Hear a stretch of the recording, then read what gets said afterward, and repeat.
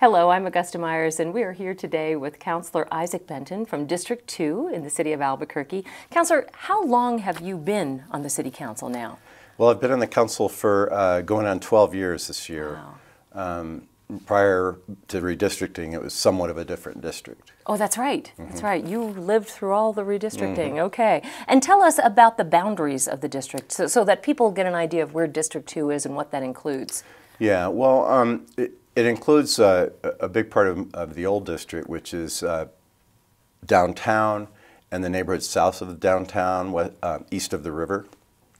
Um, also includes, uh, I would call it the west and north neighborhoods around UNM. Okay. Wow. So it's really pretty. Yeah, and then the entire North Valley. Okay. And the, and the entire North Valley. Yeah, wow. that was the big change in redistricting. Okay, that's right. Because before it didn't include the entire North Valley. It didn't go as far north. Right, and before I, uh, I was also the sort of the third West Side council counselor. We had it part of the West Side. Do you think this is better? Does it more? Does it concentrate Well- more on on the keeping the area together, or is it more consistent? I mean, Um, you still have a, a myriad of different neighborhoods within that. Yeah, it, it's uh, it's odd in a way in that it's got that urban and uh, you know the urban and then some of the most rural Right. parts of the incorporated city. Wow, I bet I, Mm-hmm. I'm sure your inquiries are vast and wide, and a, and a whole bunch of different uh, topics to talk about. That said, I. Um, one of the topics that you have been uh, keenly focusing on is the first responders to homelessness. There's a Mm-hmm. there's a real problem, and Albuquerque isn't alone in that. But particular, Right. particularly in District Two, we see some of the issues with homelessness firsthand. Yeah, as with any large city, the um, uh, uh, the center city tends to be a place where there are more uh, folks out in the street, homeless Sure. persons or, or, or um, persons uh, sometimes suffering from behavioral disabilities. Um, and that's partly because you know it's the center of transportation. It typically, uh, public transportation. It's also typically where many of the services are located. So we're no different in that regard. Um, and uh, it's a challenge, uh, you know, both for the people who are trying to provide services to uh, to folks suffering from uh, disabilities. And when we say behavioral disabilities, that means uh, it could be uh, substance abuse, Sure. uh, addiction. Um, it could also just be uh, Mental health. Uh, mental health problems. But uh, and it's a wide variety of, of people who are on the streets. You know, everywhere from veterans to to uh, folks just down on their luck to folks you know are kind of passing through. Sure. And, And, how, are, uh, how are we doing with it as a city, do you think? Or, and I'm sure the efforts that you're trying to make now or trying to advance Yeah. what we're doing. I, I, I believe we've made some some strides. You know, I think um, the mayor's uh, Albuquerque Heading Home program has has gotten uh, more people housed and and doing a better job of trying to uh, to keep account and a, a, account of who who the folks are. And that's not just for veterans, but No, that, also for homeless vets as well, heading yeah, home. uh, Getting but- people housing or permanent housing or Right. Um, but that is, uh, you know, that program is uh, aimed primarily at people with health issues, b- Okay. mental health issues, and, and behavioral issues. Um, so we've still got the, the bigger issue of just, like I said, folks who are down in their luck, you know. Um, and, and so we've, we've got uh, housing issues that housing has been a big um, focus of mine over the years. I was co-sponsor of the, of the uh, workforce housing ordinance and, and trust fund that was created, and I think that's done a lot. That's done a lot to help, and will continue to do so. But um, but in my district, in, in District Two, uh, we do have a, a disproportionate part of the impact, um, and uh, and when we think about it, our police, who are you know we're we're very concerned about the size of our force and trying to build it up again. But the question is that um, you know how much of their time is being spent on this population, and how could we find alternatives to uh, to policemen being the first responder to uh, some of the issues that, it, that they encounter in the streets. Sure, and maybe maybe creating some kind of advocacy network to uh, to Mm-hmm. look at how to not let it all fall to law enforcement to deal right. with. And and there, speaking of the housing piece, Yeah. the there's a facility or a, a, a building at Second and Lomas Mm-hmm. that was, I think, built specifically for people who Right. Mm-hmm. have these kinds of issues and challenges, and, and trying to get them uh, into some form of housing. And that use, u- utilized the uh, Workforce Housing Trust Fund money. And that, that um, it, it was aimed at, at, at trying to help get people off the streets, but it was a, a nice model in that there's a coffee shop on the ground floor that actually uh, helps employ people and, and help them learn about the uh, food service business. Um, and their market rate rentals blended in with it, so it's not just one, you know, a, a mono population of, of, uh, of people with with uh, problems, but it's actually people who are transitioning back into society, and and folks who just uh, like to have a single room occupancy apartment. Sure, and it's not a one size fits all uh, solution when you're talking about homelessness. I mean, there are families who are living out of their cars, and, Right. and certainly you do see that, as you said, and, not unlike other cities, Mm-hmm. urban areas. Albuquerque is, is certainly sharing that burden as well. Yeah. Well, that's that's great that you're you're concentrating on that and trying to move things forward. That's Just uh, one, one other quick thing about Sure. that. A, a big part of that effort right now is the city and the county are working together um, and trying to coordinate their resources. You know, the county passed a behavioral health uh, tax, and um, the city spends a lot of uh, a lot of our tax dollars on uh, on these uh, populations as well. So. Uh, we're trying to do a better job of coordinating that between the city and the county. And certainly, I'm sure you think there's a better opportunity to do that with that kind of collaboration. I mean, we serve county and city. There's a lot of overlap, and we serve Oh, yeah. the same population in many of the areas. Tremendous overlap. Yeah. Sure. And what about um, so with the redevelopment? We've heard a lot. You know, it's funny. I was thinking about this when uh, before prior to our interview about how when I was a um, young upstart reporter uh, in the mid '80s, how one of my first stories was revitalization of downtown. You know, 30 some odd years later, we're still looking at that. That's not some, and it's it's very much related to the economy, but in particular to what you're doing mm-hmm. within your district. You know, you live here, you see day to day how Albuquerque's growing and, and where we could have, you know, opportunities to, to, to even be better and provide mm-hmm. more more of an economy base in your mm-hmm. district. Tell me what's going on as far as redevelopment in some of the historic neighborhoods. Well, um, you know that that uh, as part of our comprehensive plan update that, that uh, the city council just passed, and now that's going on to the county commission to pass. That's a joint, uh, what in many cities is called the general plan. That it's the um, it's the overarching policies that guide our development policy and our protections of neighborhoods, and and that guide you know how we're trying to reinvigorate uh, parts of the city. And you look at that as a council once a year or quarterly or, No, or that is constantly? this is the first time we have Oh, really okay. taken a, a, a, big look at it uh, since uh, since right around the turn of the century. Oh, wow. Um, so, um, very important effort, somewhat controversial, I would say, in that many of the folks in kind of the disinvested, older neighborhoods that, that have kind of declined Sure. over the years um, are concerned. They're concerned about gentrification, the issue that,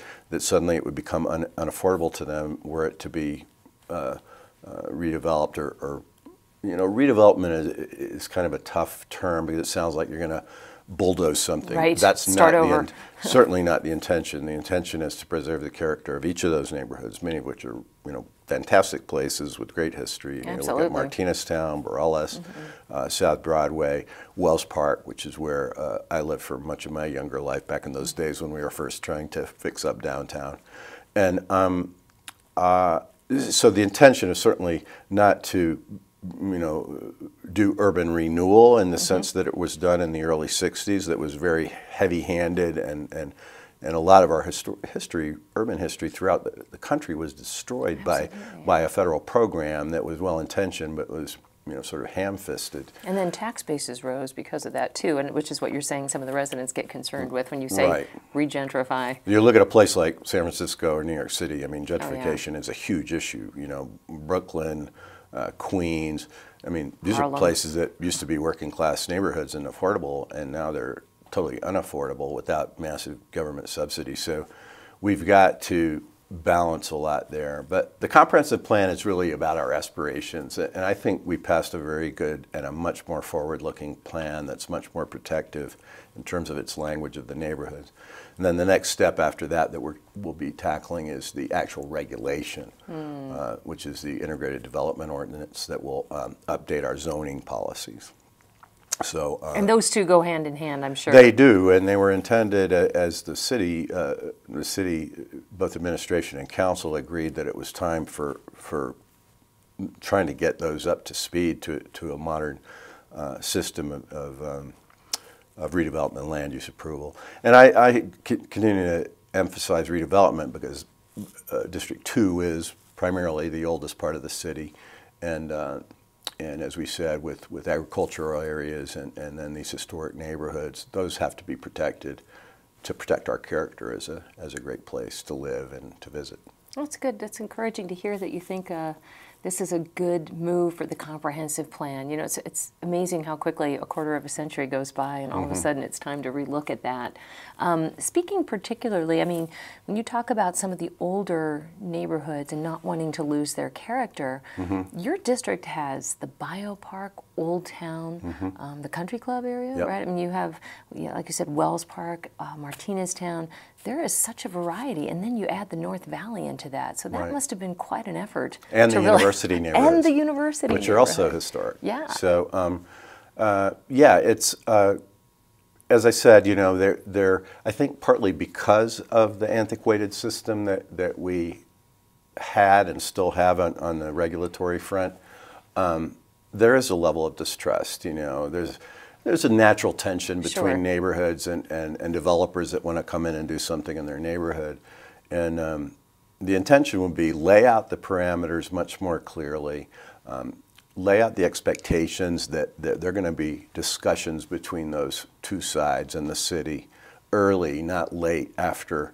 Uh, you know, Yeah. after tensions have arisen or, or misinformation is out there, Or God forbid to- something gets taken away, or in a neighborhood, or well, yeah. and, and try to get those um, uh, get those folks together early in the process. And there's a clear desire to that, but um, but but the very reason that we took it on was this level of distress, which I think had to do with the complexity of the system and the antiquated policies. Sure. And so, if you had to tell somebody from your district, um, in a nutshell, what it means to them, why it's important that the comprehensive plan got changed, what would you say?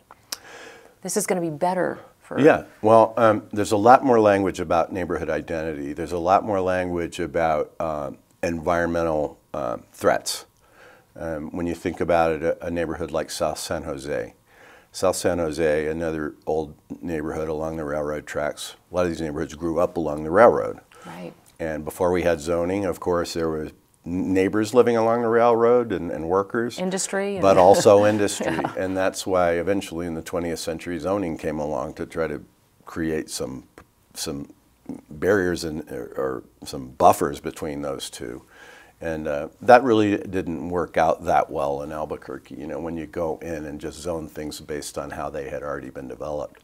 Um, so there's a lot of uh, uh, language in there about um, uh, about the impacts of additional uh, heavy industry or polluting type industry uh, vis-a-vis its proximity to neighborhoods. So it's really important uh, stuff in there, and um, and again, just community identity and strengthening that. Uh, the language is much better than it used to be.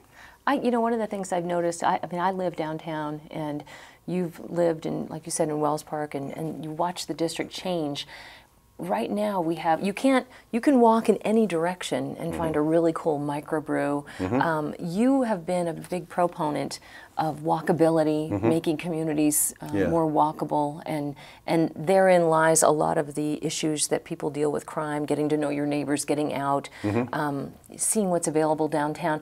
Downtown has, or, or District Two in general, has a lot of treasures. Oh, yeah. Particularly like the KiMo theater, some of the some of the things that um, you know. I get your newsletter. I get to read some of the cool things that are going on and and stuff. I think a lot of people don't understand because Albuquerque tends to be so spread out, and we all tend to operate within a two to five mile radius of where we where mm-hmm. we live. There's so many cool things going on in District Two Yeah. that um, we'd like some of the other people in Albuquerque to know about and, and Well, that's frequent. true. I, I say we, you know, we do have a lot of the challenges, but we've got a lot of the good stuff of Albuquerque within the district, and um, and I think I do think downtown's on the upswing. It's it's uh, kind of hard to be the counselor for, for downtown because folks who believe in downtown they want me personally to be Champion carrying the ball on that. And the fact is, you know, not that many people live downtown yet. We're trying to get more people living in downtown proper, but I've got all those other folks to consider. Sure. And, and um, you know, in a perfect world, I think we should have some sort of at-large counselor that only focuses on downtown. Yeah. You know, that sounds like a contradiction, but a, a, a counselor who is elected citywide in order to concentrate on downtown because downtown obviously has its own uh, issues. And, and uh, but I do think we're coming up. I do think we're we're um, as a city we understand more than when I first came on the council just uh, 12, 11 and a half years ago. That um, that having a vibrant downtown really is important. I think citywide people understand that. Uh, We've seen people through the years and different administrations tackle things like event centers and arenas and, and bringing the Mm-hmm. Sport, yeah, bringing the sports stadium Right. downtown and all those things. And and maybe there is no magic bullet, but I, I Mm-hmm. would have to agree. I think it is moving in the right direction, and and these things take time. No doubt about it. Uh, take a lot of time. And um, uh, when you uh, you mentioned walkability, I just wanted to, to say a few things about what we're doing. Of course, we passed a complete streets ordinance. Right. So we're, we're yeah, trying tell us to about that. yeah, so people we're trying to build our what that is. streets. Uh, complete streets uh, means pretty much as it sounds. It means it's not just to move cars through an area, right? That that we have many of these historic neighborhoods have major roadways going through them, and uh, people just passing through in their vehicle and not stopping and sometimes speeding and, Right. and driving recklessly and so forth. But we, we built a lot of our roadways back in the 60s and 70s just to move cars. And Complete Streets is really about doing that, but still accommodating transit and trying to make it efficient. Still accommodating bicycling, which is growing. And, and, and certainly every time you see a, a bicyclist, just think they're not in my way. They're, that's one less car in the street There you go. um, and walking obviously was good for health and everything. And tied in with that, um, a, a recent initiative that we're working on is trying to to really reforest the urban center. Okay. Um, Albuquerque has lost a lot of its tree canopy over the last uh, decade and a half. And why is that? Because it a combination of factors. Yeah, drought. drought is one factor, but also in association with drought, people, uh, uh, in a well-intentioned, uh, have converted some of their landscapes to uh, to Xeriscape, or a lot of uh, stone in their yard. And, and they, when they do that, they took their lawn out, but they, they uh, forget that they need to, when they do that, the tree still needs to be watered if they want it to live. That's one factor. The other is uh, our dear former mayor, Clyde Tingley, right. uh, brought in a, a species of tree that is really, um, it's dying out. Uh, that's a lot of our tree canopy is Siberian elm, and it's on its way out, so we've got to replace all of that. And um, To the joy of many. I know they've been Mm-hmm. kind of a blessing and a curse through the years. yeah, Non-native sucking up a lot of water, but now they're dying out too. So we're we're Right. losing it. So how how do we reforest? Is there a citywide effort to do that? Well, um, we're doing a pilot project um, for neighborhoods, and we're starting in, in some of those more dis- disadvantaged neighborhoods. We're doing a pilot project right now in, in Wells Park, in fact, um, and I'm hoping that, that this will be a model. Um, we're using District 2 Council set aside capital funds for it, um, which is a small allocation. It's not that expensive a project, and we're working with Tree New Mexico. And very uh, next month we'll be putting in 100, 100 and some odd, I think 150 new street trees in, in Wells Park. And uh, Sounds like a ton of trees, but I bet it's Yeah. gonna, and, and I'm sure it's gonna enhance that area. So, so trees, smaller trees, Tree New Mexico is gonna help grow these from. these are going to be good-sized street trees. Oh, wow. uh, so, at, and they're intended to be out near the sidewalk again for walkability, shade, Nice. uh, cooling effect, uh, but also improve property values when you when you have a good-looking uh, tree canopy on your street. Um, but it, it's a it's a public-private partnership, and uh, we're hoping that other counselors might take on a similar thing if it's working out, and, and we get it. it. It really is public-private because the, the private property owner fronting that tree agrees to take it on and adopt Water it, it, and yeah. water it because the city can't afford to put irrigation systems throughout every neighborhood and No, every street in the not. city.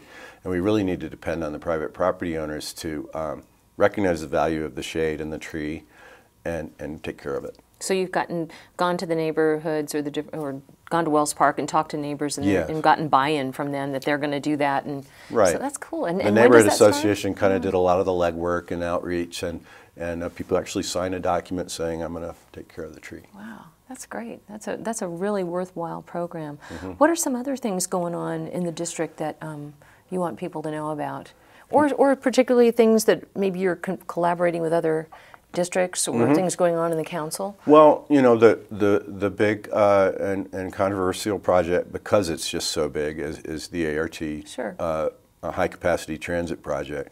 One thing I just would like uh, folks to know about that is. Um, you know, I, I know that it, it seemed like, well, it's only one person's project, the mayor, and then the council went along with it. It really is a regional effort, and I think you know about this. Sure. The, the Council of Governments and the Regional Transit District have plans to to really connect the city through this this system. Now, um, these are the spines. These don't serve every every uh, neighborhood or anything. We'll still have local routes that will tie in to uh, rapid transit. But um, the long range plan, the, the second phase is already. We already have federal design money for that, and that's the University Boulevard. That's Sunport up to the north UNM campus uh, medical area. And so, and that is again another piece of sort of the, Mm-hmm. the spine of the network because that's the north-south piece that Right. connects the sports stadiums, the university, CNM, the airport, Right. and so that's that's another big piece of that. Very, very important to know that this is part of a, a, bigger network, network, plan. yeah. It's not just some idea to help property owners along Central Avenue, not Sure. by any means. And this is going to provide a dedicated transit lane across the Rio Grande, the first time we've ever had that. You know, maybe not today, but certainly in the future, that's going to be something I think people will appreciate. Sure. The, the network also proposes to have one across Paseo del Norte to get, so we not only have the southwest uh, side, but the northwest side connected with high capacity transit. And, um, uh, and that, that northwest leg would, would actually run on I 25 uh, up from the university project to uh, out to the west side. You know, eventually could connect to Rio Rancho and places like that. So. I think that's an important point to make too, because when you're dealing with it and you're reacting to some of the construction, you're thinking, why are they tearing up Central? What's going on? But Yeah. if you can look at it as a bigger network, and I, I always think that some, one of the challenges with for people doing that in, in New Mexico, we have, uh, you know, love affairs with our pickups and our wide open spaces, Sure. and we and we are used to that, and we don't live in a city or an area, community certainly where public transit is a is a foregone conclusion. And so if you're not forced to use it, sometimes you don't see the value, especially if you don't live in the area. But but that's a very good point you make because it really is part of a much bigger network that's planned. That's that really people from the whole region have come to the table and decided on. It wasn't just uh, the mayor or one person, I guess. Is Right. I mean, this this is the first phase of something that's been anticipated for a couple of decades now, really. Sure. And we what we hear in the media are just bits and pieces of it, Yeah. but people can go to cabq.gov and get that information if they want to see that larger network or see Right. What areas are being impacted or what areas they may want to stay away from construction wise. well, and, and, you know, speaking of staying away from it, Yeah. um, you know, Or work sure, around it. certain, certain times a day, you, Yeah. you do kind of want to choose your route carefully. But I really encourage people to go down to Central and and, uh, and support the business along there because it is tough for Yes. business during construction. You know, we built a beautiful roadway with lead and coal, and that was very difficult for the businesses on lead and coal. Yeah. But, uh, um, and of course, we have a lot more of them on Central. But we also have to realize that as part of that project, every sidewalk along that length will now be uh, fully accessible according to the Americans with Disabilities Act. nice. Which yeah. it would have been hard to, to, to achieve that project without uh, um, without a combination with a big a big transit project. and not just that, but also, um, from what I understand, a lot of the infrastructure that is very old. That's With right. the streets being torn up, fortunately, And that's is part of the getting misery. Yeah, the part It- of the it- misery, but, part- but so necessary probably. Yeah, as so you say, they don't look new at these for a long time. infrastructure, sewer and water, un, at least under the street, because uh, that stuff, some of it, very old, and uh, and um, uh, fiber optic Yeah. cable up and down the entire corridor. So should be much better uh, high-speed internet for um, uh, for that entire length. Sure. No, it's it's very true. It's hard to hard to look past it when you're in the thick of it, and, and Mm-hmm. as you say, certainly some of those businesses are toughing it out, and uh, you know, hopefully it'll be something, bring something really great to them in the in the for in the in the Mm-hmm. long run. What any other uh, projects that you want to talk about, or things coming up that? Uh, just some of my complete streets efforts. You know, um, we're we're looking at Rio Grande Boulevard from uh, from I-40 down to to uh, Old Town. Try to make that a little bit more friendly and walkable, and a little bit more landscape, and a little bit better bike lanes there. And that will tie in, if that is accomplished, I would imagine that would bring a more unique character, at least um, kind of a, an inclusive to the biopark and all the other things that are in that area. Right. I mean, it, it, there is so much in that Yeah. immediate area, and at the same time, there is so much traffic Yes. going through that intersection at Rio Grande convergence right there, yeah. Yeah. You know, there's a lot of folks just trying to get across the river and then up northbound, and then different depending on the time of day. So we're trying to make it a little bit more humane people uh, uh, uh, location for, for our friends who are here to visit and, and staying in the hotels right along there, but also for the neighborhoods that surround. And I noticed 12th Street, you talked about 12th Street in your newsletter. That's another area. Yeah, um, the area up around the Indian Pueblo Cultural Center is under construction now, and that's going to be a much more nicer, uh, landscaped, walkable street with bike lanes. So that'll be great too. Yeah, no, that's really cool. Well, thank you so much for your time, and uh, we look forward to getting back together with you and seeing what other projects you're working on in the future because there's always something. There are plenty and more. and if you ever are around District 2 and downtown, you might see Councilor Benton on his bike. You're pretty much on your bike more than in a car. Yeah, I, I have the luxury of living close to my work, and I Yeah. use my bike all the time. Yep. Beautiful sunny days in New Mexico encourage that. Well, thank you so much, Councilor. We Thank appreciate you. your time.